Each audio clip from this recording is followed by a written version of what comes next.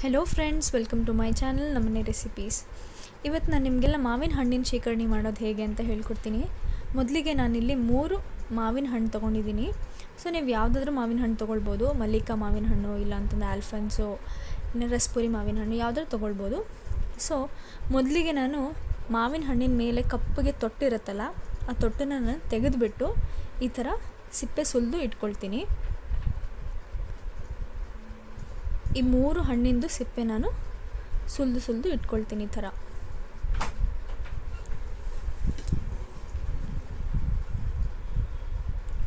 ಇವಾಗ ನೀವು ನೋಡ್ಬೋದು ಹೇಗೆ ಅದು ಕಲರ್ ಎಷ್ಟು ಚೆನ್ನಾಗಿ ಕಾಣ್ತಿದೆ ಅರ್ಶಿನದ ಕಲರು.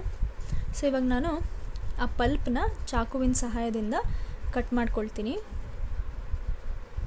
ಇವಾಗ ಮಾವಿನ ಹಣ್ಣು ಕಟ್ ಮಾಡೋಬೇಕಾದ್ರೆ ಒಳಗಡೆ ನಿಮಗೆ ಹಾಳಾಗಿರೋದು ಏನಾದರೂ ಕಾಣಿಸ್ತು ಅಂತಂದರೆ ನೀವು ಅದನ್ನು ಯೂಸ್ ಮಾಡೋಕ್ಕೆ ಹೋಗಬೇಡಿ.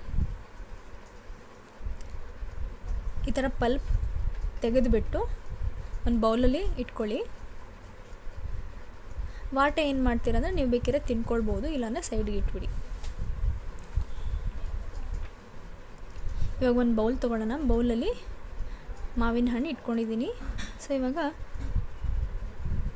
ಎರಡು ಕುಟ್ಟಿ ಪುಡಿ ಮಾಡಿಕೊಂಡಿರೋಂಥ ಏಲಕ್ಕಿ, ಅರ್ಧ ಕಪ್ಪಷ್ಟು ಬೆಲ್ಲ, ಮುದ್ದೆ ಬೆಲ್ಲ, ಮತ್ತು ಕಾಲು ಕಪ್ಪಷ್ಟು ನಾನು ಹಾಲು ತೊಗೊಂಡಿದ್ದೀನಿ.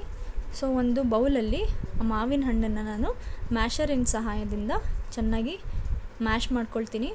ಆಮೇಲೆ ಬೆಲ್ಲ ಹಾಕ್ಕೊಳ್ತೀನಿ ನಿಮ್ಗೆ ರುಚಿಗೆ ಎಷ್ಟು ಬೇಕೋ ಅಷ್ಟು ಹಾಕ್ಕೊಳ್ಬೋದು ಸೊ ಇದನ್ನು ಚೆನ್ನಾಗಿ ಮ್ಯಾಶ್ ಮಾಡ್ಕೊಳ್ತೀನಿ. ಎಲ್ಲಿವರೆಗೂ ಅಂದರೆ ಬೆಲ್ಲ ಫುಲ್ಲು ಕರಗಿ ಹೋಗ್ಬಿಡಬೇಕು. ಅಲ್ಲಿವರೆಗೂ ನಾನು ಮ್ಯಾಶ್ ಮಾಡ್ಕೊಳ್ತೀನಿ.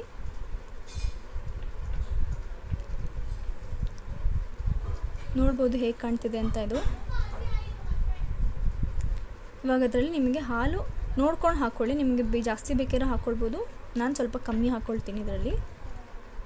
ಏಲಕ್ಕಿ ಪುಡಿ ಹಾಕ್ಕೊಳ್ಳೋಣ ಹಾಕ್ಕೊಂಡು ಸೌಟಿಂದ ತಿರುಗಿಸ್ಕೊಳ್ಳಿ.